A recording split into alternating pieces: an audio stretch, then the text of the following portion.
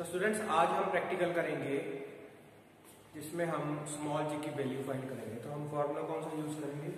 T is equal to two pi under of L by G तो मेरे पास operators क्या होगा? मेरे पास एक थ्रेड होगा बॉ होगा, जिसको हम पेंडुलम की तरह यूज़ करेंगे। एक स्टैंड है स्टॉप वॉच है एंड मीटर स्केल है, ठीक है?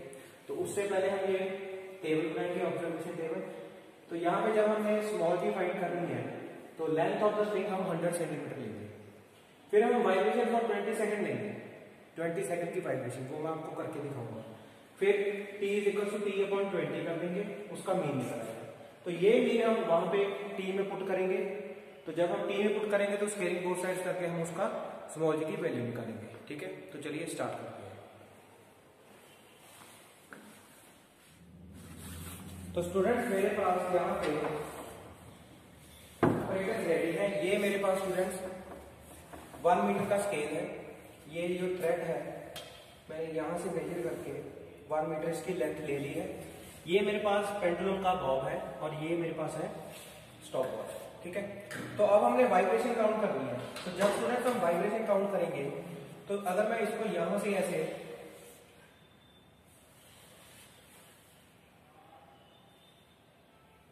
यहाँ तक ये वन वाइब्रेशन होती है ये जब ये पूरा यहाँ से एम्पलीट्यूड इसका वहाँ से लेके यहाँ तक आएगा तो वन वाइब्रेशन होगी। तो हमने ट्वेंटी वाइब्रेशन का यहाँ से टाइम होती है ये देखिए ऐसे।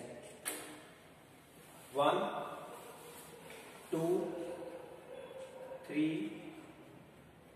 four five six seven eight nine ten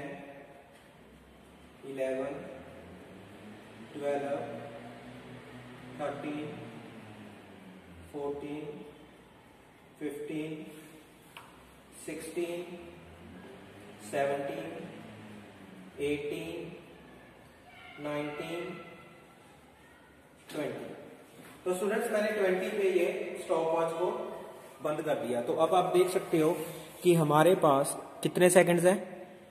near about 40 seconds आ रहा है, ठीक है? तो अब 40 सेकंड्स ये हमारा टी आया। तो हमारी जो स्टूडेंट्स फ़र्स्ट वैल्यू है, वो है 40 सेकंड्स तो इसी तरह से, इसी चीज़ से मैं यहाँ पे सिक्स रीडिंग ले लूँगा, ठीक है? तो आपको एक रीडिंग लेके दिखाता, दिखा दिया मैंने। ये 40 को हम डिवाइड करेंगे 20 से। तो ये कितना आ गया? टू तो ये हमारा टू आ गया टाइम पीरियड अब इस टाइम पीरियड को मैं यहाँ पे पुट करूँगा। तो मान लीजिए ये मैं टू पुट कर दिया मैंने। 2 pi under L by G, ठीक है? तो ये हमारा जब टू से टू कैंसिल कर लेंगे, लेकिन हमने एल अपॉन जी की वैल्यू फाइंड करनी है। तो यहाँ पे मैं क्या करूँगा, स्केलिंग फोर्स है four is equal to four pi square into L by G. तो जी की वैल्यू मेरे पास कितनी आ जाएगी? Four pi square by L by four. अब फोर से फोर कैंसिल हो गया, pi square means three point one four का स्क्र इंटू लेंथ हमने कितनी ली थी? Hundred centimetre. तो हंड्रेड सेंटीमीटर लेंथ लेंगे। अगर हम इसको कैलकुलेट करेंगे तो आंसर आएगा सेंटीमीटर पर सेकेंड स्क्र में ठीक है?